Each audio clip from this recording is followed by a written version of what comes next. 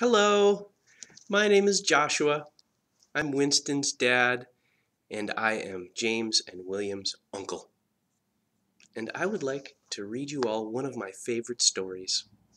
This story is called The Old Woman Who Named Things by Cynthia Rylant and illustrated by Kathryn Brown.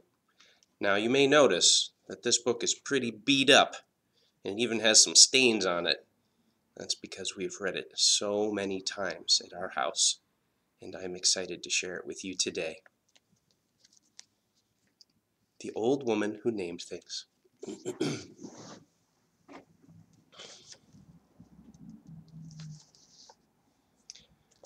Once there was an old woman who loved to name things. She named the old car she drove Betsy.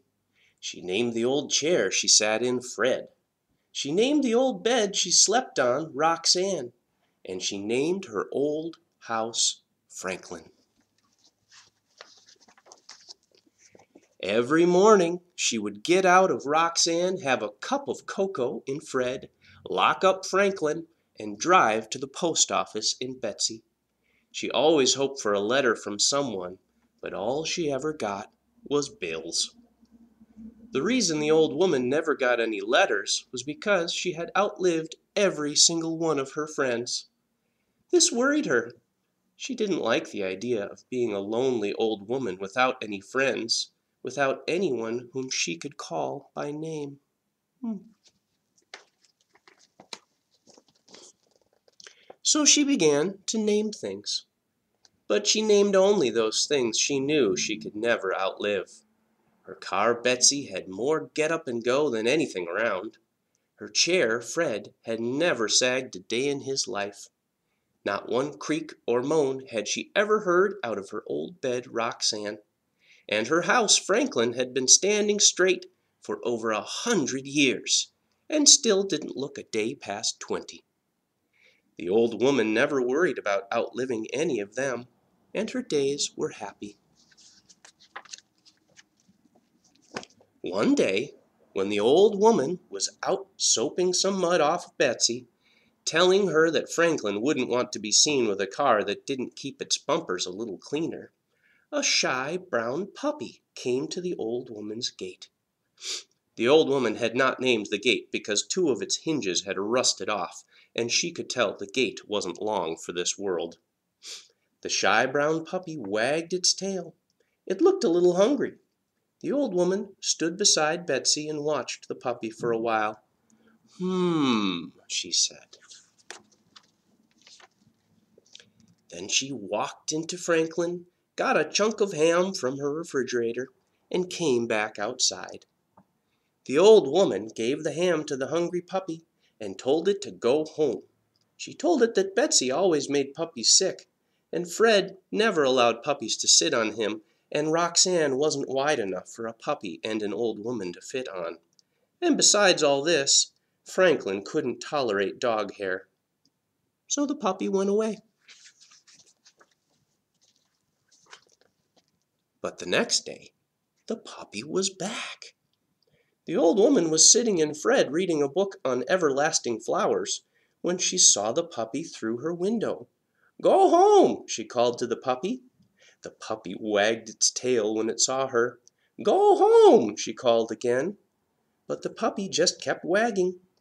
The old woman noticed that it still looked a little hungry, so she went to her refrigerator.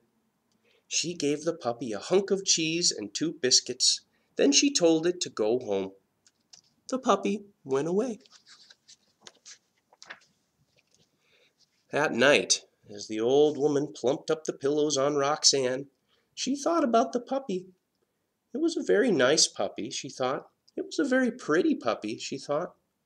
But it couldn't stay. If it stayed, she would have to give it a name.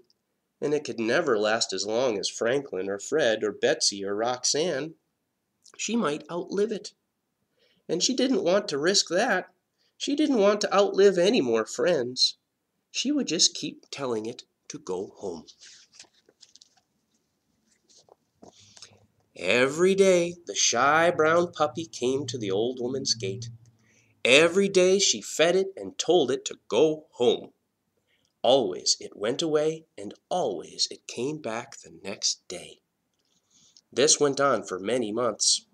The puppy got bigger and bigger until soon it wasn't a puppy any more. It was a dog, and it was still a dog with no name.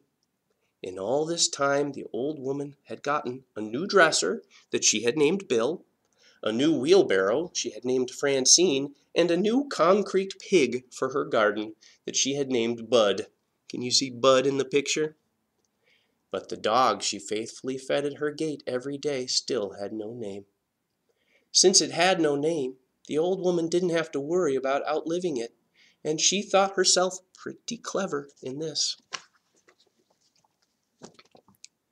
Then one day the shy brown dog did not come to the old woman's house. She sat and fretted and watched the gate all day long, but the dog never came. The old woman felt sad. The next day again the dog did not come. The old woman drove Betsy around town looking for the dog, but she did not find it. The old woman felt even sadder. The following day, when the dog still did not come, the old woman knew she had to do something. She picked up her telephone and called the dog catcher. Have you caught any shy brown dogs? the old woman asked the dog catcher. We've got a whole kennel full of shy brown dogs, ma'am, said the dog catcher. Was yours wearing a collar with its name on it? No, said the old woman sadly, and she hung up the telephone. The old woman sat and thought about the shy brown dog who had no collar with a name. Wherever it was, no one would know that it was supposed to come to the old woman's gate every day, that she was supposed to feed it and tell it to go home every day, that things were always supposed to be this way. The shy brown dog had no collar and no name, and no one would ever be able to know these things about it the old woman made a decision. She locked up Franklin and drove Betsy to the dog catcher's kennel. She said to the dog catcher, I've come to find my dog. He asked her what color it was. It's brown, she said. He asked her how old it was. About a year old, she said. Then he asked her what its name was. The old woman thought a moment. She thought of all the old dear friends with names whom she had outlived. She saw their smiling faces and remembered their lovely names, and she thought how lucky she had been to have known these friends. She thought what a lovely, lucky old woman she was.